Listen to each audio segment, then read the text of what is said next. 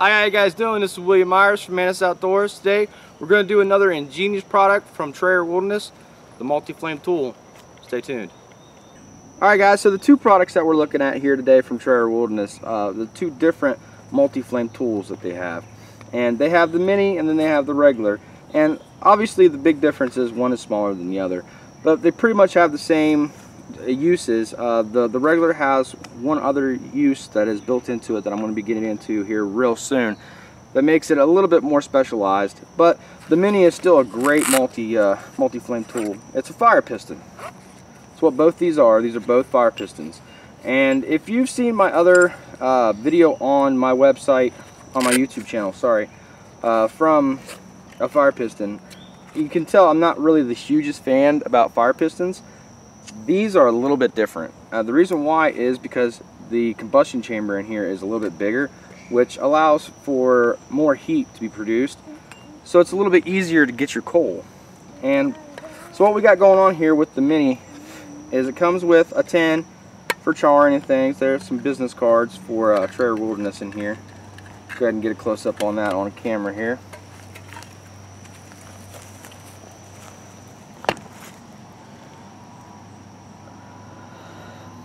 So you guys can get a shot of their business business card. Their information is on here.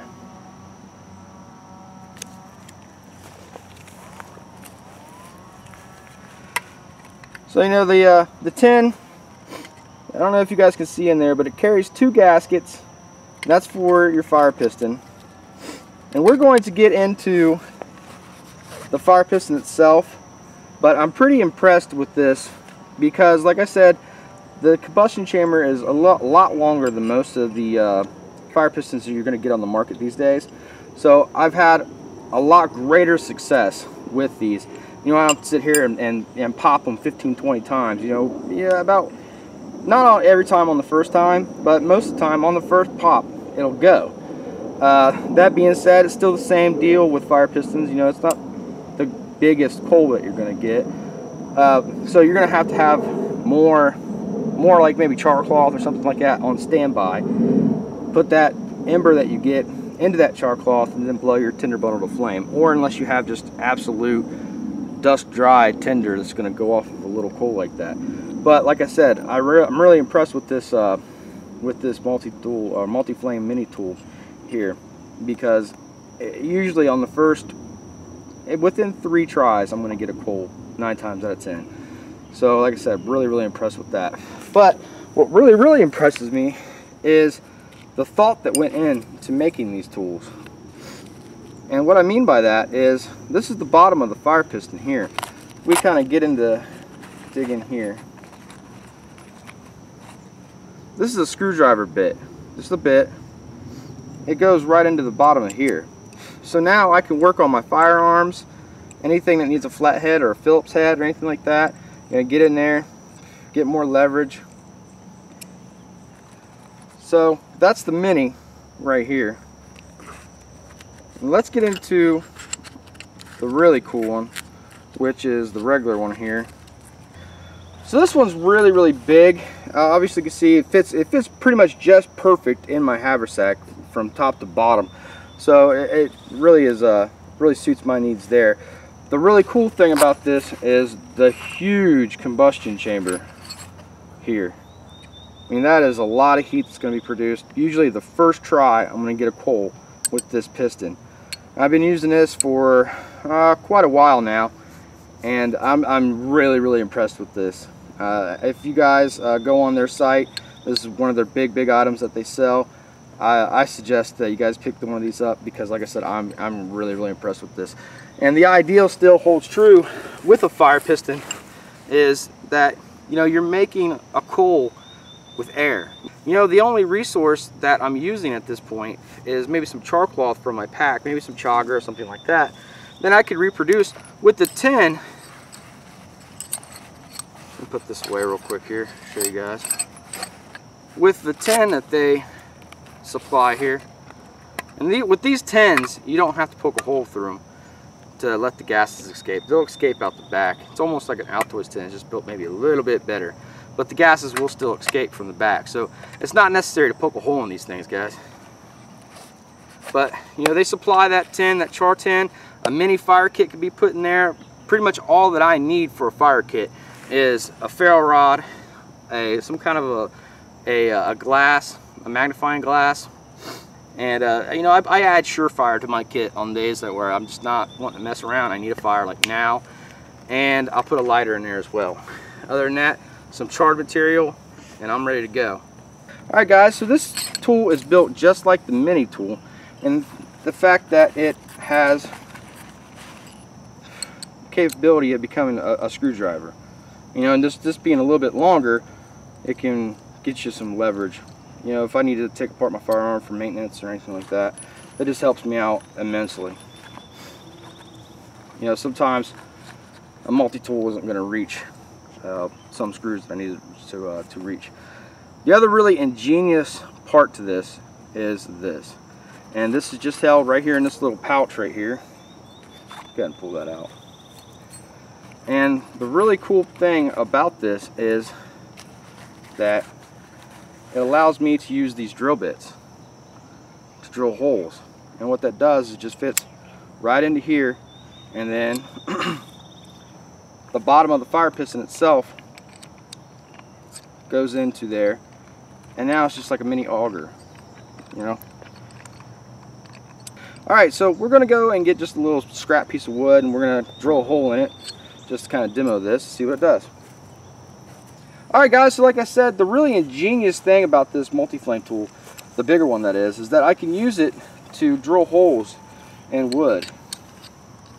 And you know, if I'm using this, let me get this started here real quick. You know, I can use this to uh, tap trees, like maples and birches and things like that for water source. You know, this is just a really, really ingenious design from them.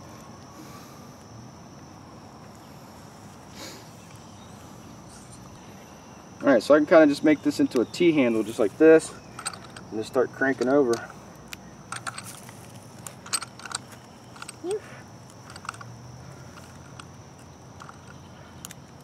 There it goes, it's starting.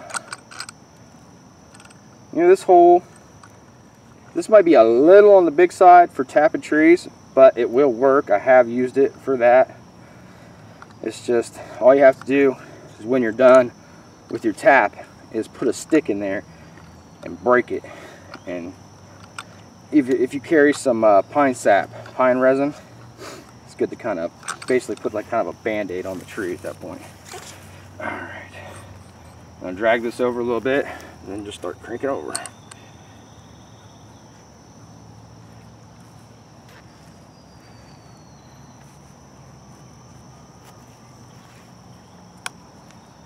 you can see just tons and tons of applications that this could be good for in the woods.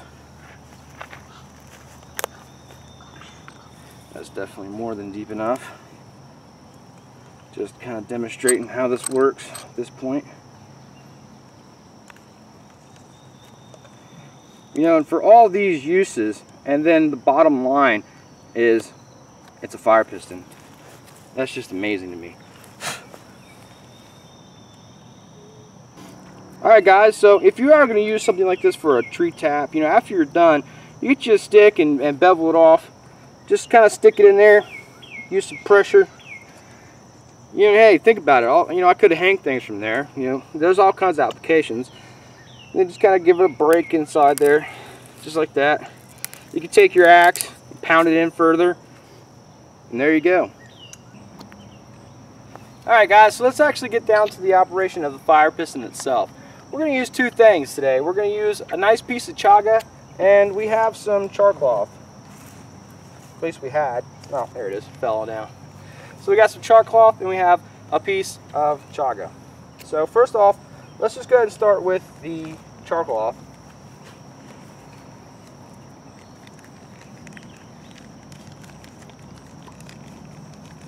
Get a nice little piece out here. Alright, so I got a little piece of char cloth. I'm going to sit in there. I'm going to bring this up to the camera as well. Pack that up pretty good with char cloth. Put whatever I don't need back.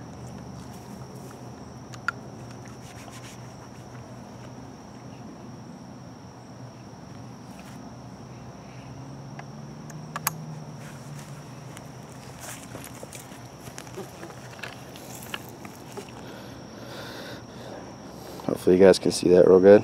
It's nice and packed with char cloth.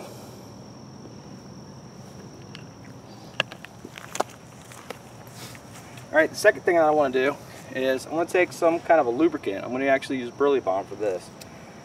I just want to take a very, very small, little tiny bit. Just a little bit. And I don't need to smear this all over the fire piston. I just want to get it on the gasket. It's right there. Just enough to lubricate that gasket. That's enough, it's plenty. I got my Leatherman Micro here. I actually really like this tool. It's for the scissors and other things like that. I'm going to use the tweezers here. When I actually do get a coal, I'm going to use that to kind of pick it out. That way I just don't have to use my knife for that.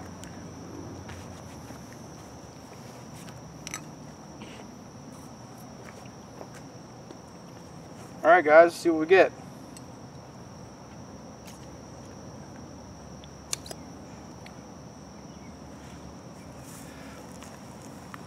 Like I said, first pop.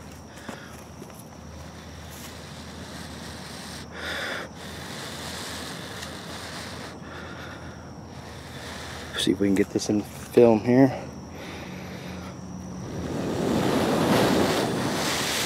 Nice glowing ember right there.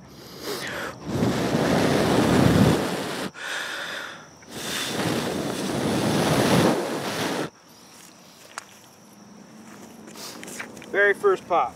So we take this out.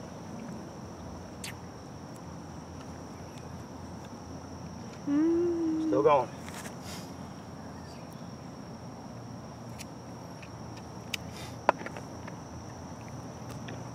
That's why this impressed me so much. You know, with other fire pistons, you sit here and smack it for days. It can get kind of aggravating.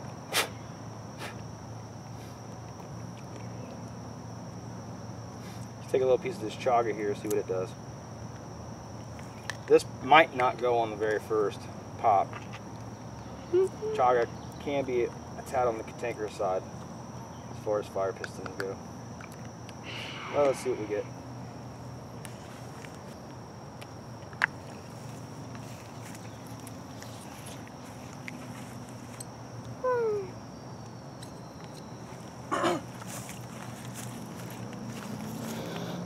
Chaga in there. Now this is one of my preferred methods when dealing with the fire piston because this chaga is going to burn a little bit longer. This the little ember that you do get is going to burn a little bit longer than say charcoal cloth.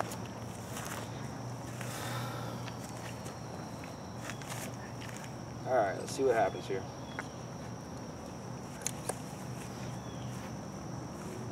Nope, not on the first one.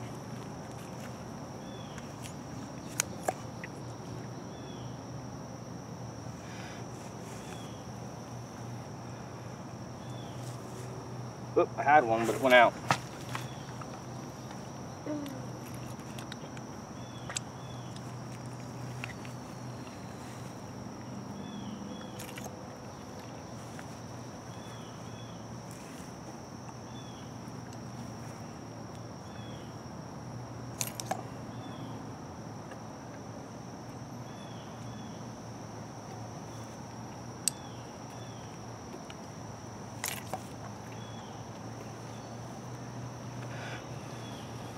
And there we go.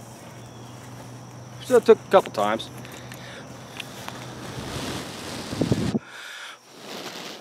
Hopefully you guys can see that on camera there. Going rather nicely.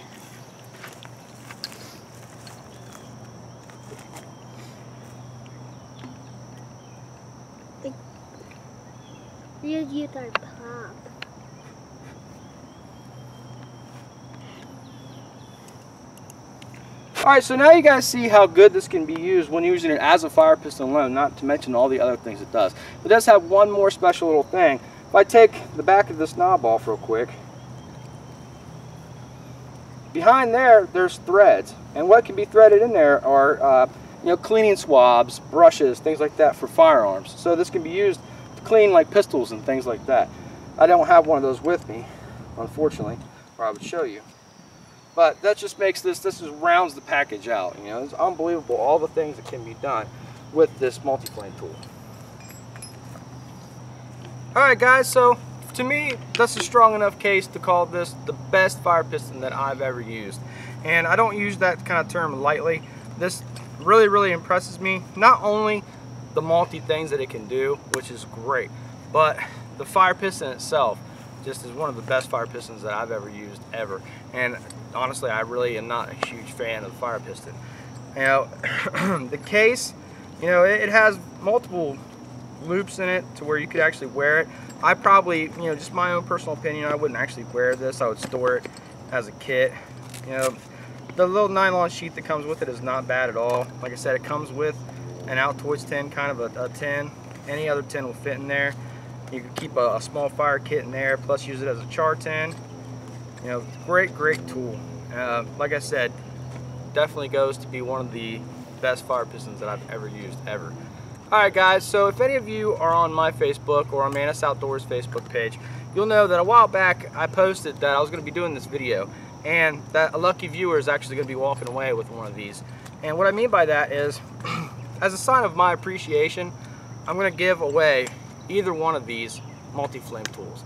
And that is a choice that's going to be up to you. If the Mini is going to fit your kit better, you know, the only thing that you're going to be lacking is the capability of using it as a drill. Uh, other than that, it's just like the, uh, the regular one, just a little bit smaller.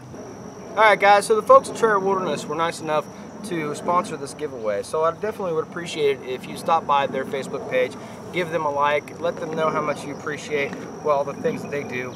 You know, they do a lot of stuff for the bushcraft and survival community and prepping and uh, homesteading communities as well. Stop by their website, www.trayerwilderness.com. There's all kinds of information out there, their blog, stuff like that. Tammy and uh, them are they are great, great people. I've never dealt with such nice people ever before. You're not gonna you're not gonna come across nicer people than the Trayers. All right, so down to the giveaway itself. If you guys stop by www.facebook.com, Outdoors, link's gonna be down in the description below. There'll be a post about this giveaway, and all you gotta do is in the comment section type in I'm in. Then you'll be registered for the giveaway and then we're to give uh, a random number through a generator on the computer and we're to give it away. And my appreciation for all the support that I've been given from you guys, all the subscriptions, all the likes, all the comments, all the comments on my Facebook, all the other support that I've been given, just to show you guys how much I appreciate it. Alright guys, this has been William Myers from Mantis Outdoors. Hope you enjoyed the video and if you did, appreciate it if you click subscribe. Liking my video helps me and my video and my channel out a lot. I appreciate all your views, comments, and support. Hopefully, we'll see you out in the woods.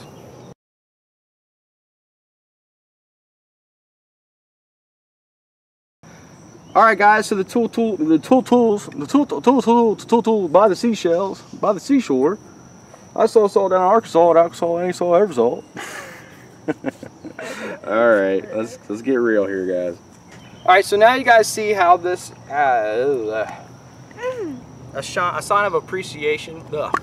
Okay, three, two, one. Facebook page and on Mantis Outdoors deer. Facebook page. Deer just ran by. A deer just walked by. Mm, two ran. okay. The video is over. It's over in a minute. Alright guys, well, this has been William Myers, Mantis Outdoors. Hope you enjoyed the video and I hope...